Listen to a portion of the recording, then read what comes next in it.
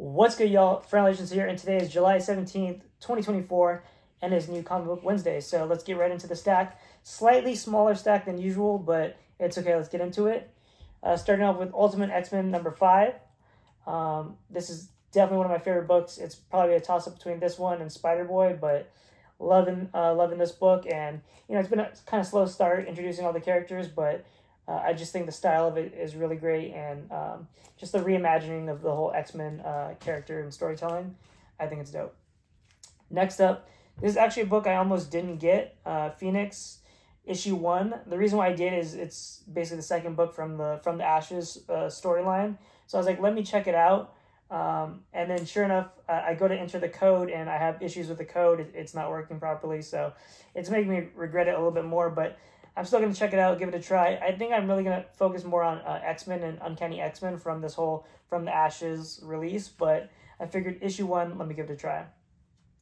Next up, Blood Hunt, uh, The Wolverine. So this is a one-shot. Excited for this. It has the Peach Momoko cover. Been collecting all of those for the one-shots, so I uh, had to add this one to the collection as well.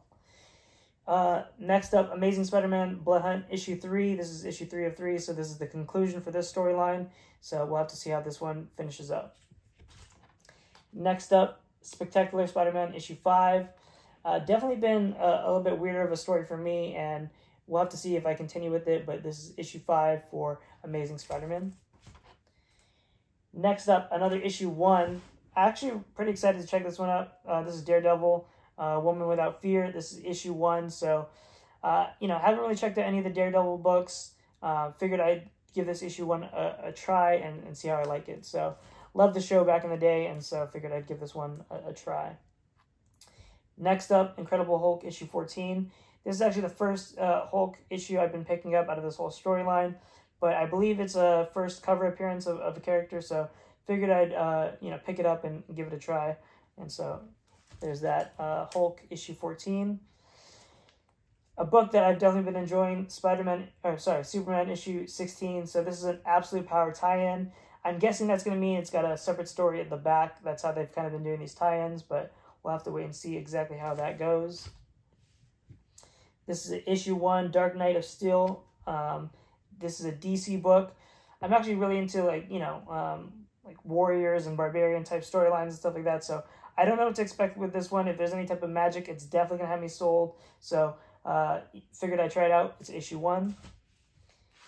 And last but not least, this is probably the book I'm most excited for this week. Uh, this is Powerpuff Girls issue one. So yeah, definitely excited to see how the storyline goes. There's actually one other book I was hoping to pick up today. It was the 3D variant of New Mutants. And um, I don't know what happened, but they, they didn't have it in. They're um, saying that I guess it was ordered from a different company than uh, Marvel, so we'll have to wait and see. But uh, yeah, my pick of the week so far is going to be uh, Ultimate X-Men issue 5. So let's see how it goes. Until next time, guys, peace. Thanks for watching.